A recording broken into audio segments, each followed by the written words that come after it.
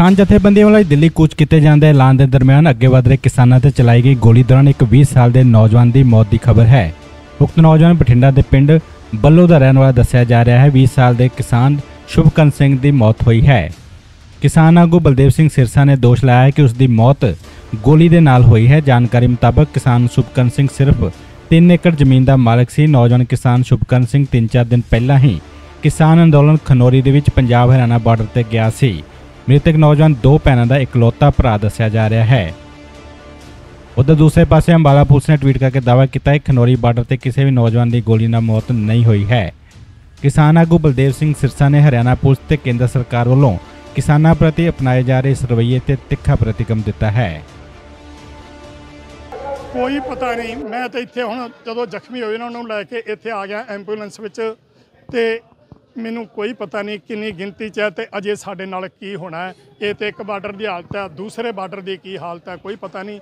ਜਿਸ ਕਰਕੇ ਮੈਂ ਜਿਹੜੀ ਅਪੀਲ ਕੀਤੀ ਆ, ਉਹਦੇ ਵੱਲ ਧਿਆਨ ਦੇਣ ਤੇ ਮਾਨਯੋਗ ਸੁਪਰੀਮ ਕੋਰਟ ਨੂੰ ਮੈਂ ਅਪੀਲ ਕਰਨੀ ਚਾਹਣਾ ਹੈ।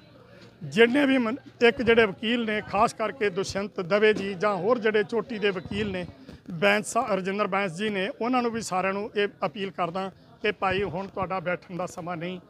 ਤੇ ਇਹਦੀ ਜਿਹੜੀ ਸਾਡੀ ਆਵਾਜ਼ ਆ ਇਹਨੂੰ ਕੋਰਟਾਂ ਤੱਕ ਪਹੁੰਚਾ ਕੇ ਤੇ ਇਹ ਰਸਤੇ ਖਲਵਾਓ ਤੇ ਇਹ ਸਾਡੇ ਤੇ ਜਿਹੜਾ ਜ਼ੁਲਮ ਹੋ ਰਿਹਾ ਗੋਲੀਆਂ ਚੱਲ ਰਹੀਆਂ ਨੇ ਇਹਨਾਂ ਨੂੰ ਉਹਨਾਂ ਵੱਲੋਂ ਹੈਗਾ ਜਿਹੜਾ ਤਾਬੜ ਤੋੜ ਜਿਹੜੀ ਫਾਇਰਿੰਗ ਕੀਤੀ ਜਾ ਰਹੀ ਆ। ਗੱਲ ਇਸ ਤਰ੍ਹਾਂ ਹੈਗੀ ਹੈ ਜੀ ਵੀ ਤੁਹਾਨੂੰ ਪਤਾ ਹੈ ਬਹੁਤ ਜ਼ਿਆਦਾ ਜਿਹੜਾ ਹੈ ਸਰਕਾਰ ਹੈ ਕਿਸਾਨਾਂ ਦੇ ਉੱਤੇ ਜ਼ਬਰ ਕਰ ਰਹੀ ਹੈ। ਦੋ ਦਿਨ ਪਹਿਲਾਂ ਕੀਤਾ ਅੱਜ ਅਸੀਂ ਇਹ ਨਹੀਂ ਕਹਿੰਦੇ ਸੀ ਵੀ ਅਸੀਂ ਦਿੱਲੀ ਜਾਣਾ ਹੈ। ਸਾਡੀਆਂ ਮੰਗਾਂ ਮੰਨ ਲੈਂਦੇ ਸਾਡੀਆਂ ਜਿਹੜੀਆਂ ਮੰਗਾਂ ਸੀ ਉਹ ਮੰਨ ਲੈਂਦੇ। ਜੇ ਮੰਗਾਂ ਨਹੀਂ ਮੰਨੀਆਂ ਸੀ ਸਾਨੂੰ ਜੰਤਰ ਮੰਤਰ ਚ ਰਾਮਲੀਲਾ ਚ ਮੈਦਾਨ ਦੇ ਵਿੱਚ ਗਰਾਊਂਡ ਚ ਕਿਤੇ ਨਾ ਕਿਤੇ ਸਾਨੂੰ ਜਗ੍ਹਾ ਦਿੰਦੇ। ਅਸੀਂ ਉੱਥੇ ਪੀਸਫੁਲੀ ਸ਼ਾਂਤਮਈ ਆਪਦਾ ਉੱਥੇ ਜਿਹੜਾ ਆਪਦਾ ਜਿਹੜਾ ਲੋਕਤੰਤਰ ਹੈ ਉਹਦੇ ਨਾਲ ਅਸੀਂ ਆਪਦਾ ਜਿਹੜਾ ਅੰਦੋਲਨ ਲੜਦੇ। ਅੱਗੇ 13 ਮਹੀਨੇ ਉੱਥੇ ਬੈਠੇ ਰਹੇ ਆ ਲਗਾਤਾਰ ਗੋਲੇ ਛੱਡੇ ਜਾ ਰਹੇ ਨੇ ਉਹਨੂੰ ਕਿਵੇਂ ਦੇਖਦੇ ਹੋ ਜੀ? ਇਹ ਬਿਲਕੁਲ ਜਿਹੜੀ ਹੈ ਸਰਕਾਰ ਦੀ ਅਸੀਂ ਇਹ ਨਿੰਦਿਆ ਕਰਦੇ ਹਾਂ। ਜੋ ਇਹਨਾਂ ਨੇ ਸਾਡੇ ਕਿਰਤੀ ਲੋਕਾਂ ਦੇ ਉੱਪਰ ਇਹਨਾਂ ਨੇ ਸਾਡੇ ਚਿੱਟੀਆਂ ਦਾੜੀਆਂ ਵਾਲੇ ਬਜ਼ੁਰਗ ਨਹੀਂ ਬਖਸ਼ੇਗੇ। ਸਾਡੇ ਸਬਰ ਦੇ ਨਾਲ ਬੈਠਿਆਂ ਉੱਤੇ ਆ ਗੋਲੇ ਆ ਜਿਹੜੇ। ਇਹਨਾਂ ਨੂੰ ਤਕਰੀਬਨ ਹੁਣ 40 45 ਮਿੰਟ ਹੋ ਗਏ ਸਿੱਟੀ ਜਾਂਦਿਆਂ ਨੂੰ ਅਜੇ ਬੰਦ ਨਹੀਂ ਹੋ ਰਹੇ। ਬਹੁਤ ਸਾਰੇ ਨੌਜਵਾਨ ਕਿਸਾਨ ਜ਼ਖਮੀ ਹੋ ਗਏ। ਘਾਇਲ ਹੋ ਗਏ ਆ। ਬਹੁਤ ਜਿਹੜੇ ਕਿਸਾਨ ਆ ਸਾਡੇ ਸਾਡੇ ਨੌਜਵਾਨ ਜ਼ਖਮੀ ਹੋਏ ਆ।